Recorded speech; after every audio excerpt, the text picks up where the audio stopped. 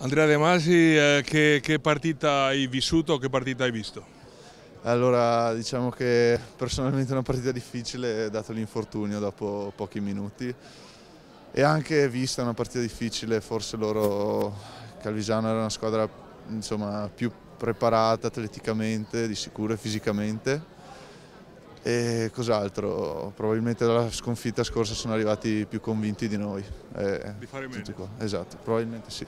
Per voi è stato un anno travagliato, eh, comunque a testa alta.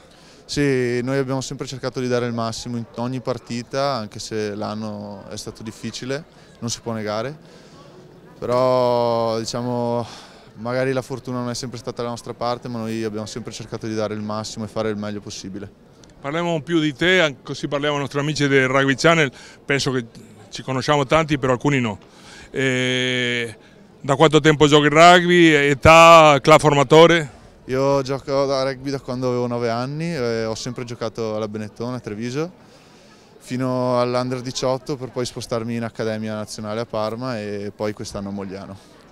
A chi salutiamo in questo momento? Ah, saluto sicuramente i miei amici e i miei genitori e tutti quanti che stanno guardando.